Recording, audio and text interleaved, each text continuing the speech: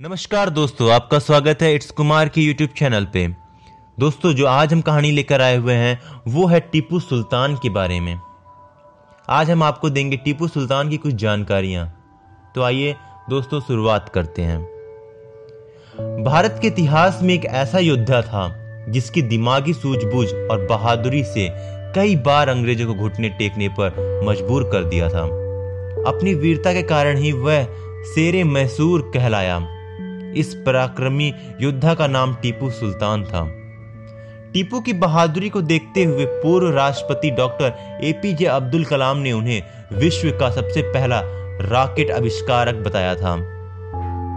टीपू सुल्तान का जन्म मैसूर के सुल्तान हैदर अली के घर 20 नवंबर 1750 को देवनहली में हुआ। वर्तमान में यह जगह बैंगलोर सिटी के उत्तर से 30 किलोमीटर दूर है। टीपू सुल्तान का पूरा नाम फतेह अली टीपू था। उनके पिता हैदर अली मैसूर राज के सैनिक थे। उन्होंने बहुत ही जल्दी दक्षिण में अपनी शक्ति का विस्तार आरंभ कर दिया था।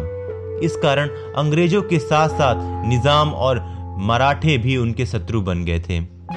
शुरुआत से ही हैदर अली ने अपने पुत्र टीपू सुल्तान को काफ़ी मज़बूत बनाया और उन्हें हर तरह की शिक्षा दी। टीपू ने 18 वर्ष की उम्र में अंग्रेज़ों के विरोध पहला युद्ध जीता था। टीपू काफ़ी बहादुर होने के साथ ही दिमागी सूझबूझ से रणनीति बनाने में भी बेहद माहिर थे। अपने शासनकाल में भारत में बढ़ते ईस्ट इंडिया कंपनी के साम्राज्य के सामने वह कभी नहीं झुके और अंग्रेज़ों से जमकर लोहा लिया।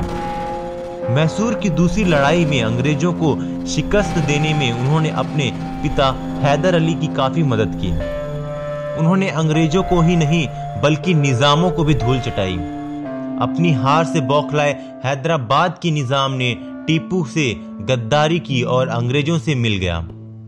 मैसूर की तीसरी लड़ाई में जब अंग्रेज़ टीपू को नहीं हरा पाए तो उन्होंने टीपू के साथ मैंगलोर सिंधी की लेकिन इसके बावजूद अंग्रेज़ों ने उन्हें धोखा दिया। फिर जब ईस्ट इंडिया कंपनी ने हैदराबाद के साथ मिलकर चौथी बार टीपू पर हमला किया, तब अपनी कूटनीतिकता और दूरदर्शिता में कमी की वजह से उन्हें हार का सामना करना पड़ा।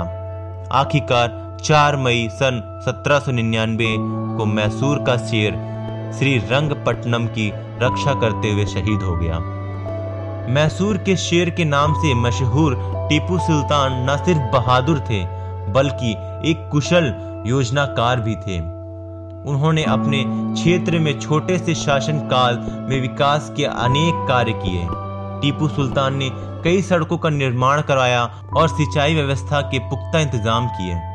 उन्होंने जल भंडार के लिए कावेरी नदी के उस स्थान पर एक बाँध की नींव रखी जहाँ आज कृष्णराज सागर बाँध मौजूद है।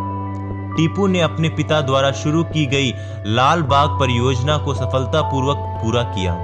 उन्होंने आधुनिक कैलेंडर और नई भूमि राजस्व व्यवस्था की भी शुरुआत की।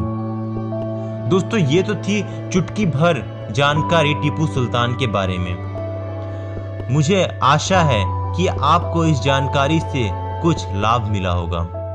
तो दोस्तों, ऐसी ही कहानियाँ हम रोज लेकर आया करेंगे। आप हमारे चैनल को सब्सक्राइब करें, लाइक करें और इसको अपने दोस्तों में शेयर करें, ताकि सबको पता चल सके कि एक महान योद्धा बनने के पीछे कारण क्या होता है। तो इसी के साथ मुझे इजाज़त दीजिए।